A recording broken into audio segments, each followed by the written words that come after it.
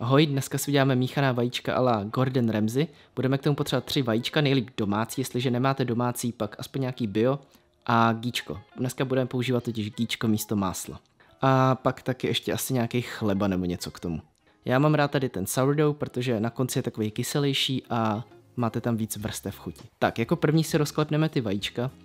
Rozklepáváme do studeného hrnce, protože vajíčkům stačí fakt málo, aby se jakoby uvařili a nebo aby vám dokonce i vyschly. To znamená, že jestli se tomu chcete vyhnout, pak doporučuji rozklepávat je do studeného hrnce.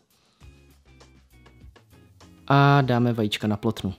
Doporučuji ty vajíčka dávat na malý oheň, nebo teda tady u mě na nízký stupeň. A pak ještě teda si tady vezmu pánev, na kterou dáme ten chleba. Dojdu si tady ještě pro malou lžičku, právě na gíčko a pro malinký talíř, kam to budeme pak všechno dávat. Vezmeme stěrku a pořádně to tady začneme míchat. To, co dělá ty vajíčka krémový, není vlastně to máslo nebo to gíčko, ale to ten proces toho vaření. A nechcete, aby měli nějakou vysokou teplotu. Vy chcete vařit strašně pomalu. Necháme tady ty vajíčka trošku odpočinout a zatím tady zapracujeme chleba. Vyndáme si ho z tašky a uřízneme si trošku tlustší plátek, asi nějak takhle. A uřízneme si ho. Zbytek vrátíme zpátky do tašky a do šuplíku. A tady ten plátek si rozřízneme ještě vejpůl. Tak, na pánev si dáme teda žičku gíčka, nebo ne lžičku, trošku gíčka si tam dáme rozpustit. Asi takhle, jo, to je nějak hodně. Vyklepu to tam a tu druhou půlku můžeme dát do vajíček.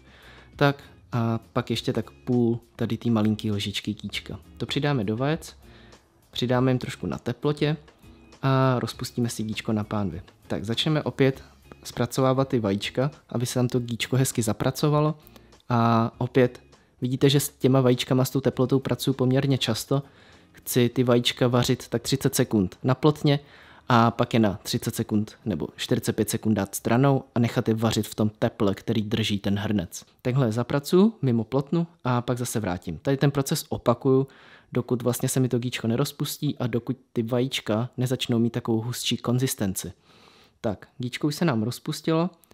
Vezmeme si náš chleba a hezky ho tam takhle vytřeme a necháme ho tam. Ten chleba tam musíte přitisknout, protože jinak to dopadne tak, že budete mít kousek opečený a kousek ne. A vracíme se zpátky k vajíčkům. Já jsem tady ty vajíčka nechal asi 10 nebo 15 sekund sedět a vidíte, že už se nám dělají ty hrudky a my to teď musíme teda rozpracovat pomocí té stěrky. Rozhňácáme to hezky zase zpátky ty hrudky, zapracujeme do těch tekutějších částí vajec a pokusíme se to ještě zachránit. Nechce se mi to natáčet po třetí. Agresivně mícháme a zpracováváme a tady vidíme, že ty vajíčka už nabírají úplně jinou konzistenci. Hezky vytřeme ty okraje, právě proto používáme tu stěrku, abychom mohli dostat všechny vajíčka ze všech koutů vlastně takhle do sebe a pečlivě zapracováváme.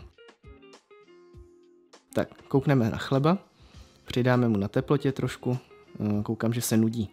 Otočíme ho a opíkáme i z druhé strany do zlatova. Ty vajíčka, jak si můžete všimnout, když se k ním takhle vrátíme, tak je to fakt o tom, že s nima celou dobu pracuju, celou dobu jsou v pohybu, protože jakmile se zastaví, tak vám vyschnou a budete mít klasický suchý vajíčka, který můžete bodat vidličkou.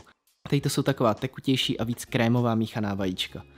Tak, chleba už se nám krásně opíká, ještě ho naposledy otočíme a vyndáme už na talíř.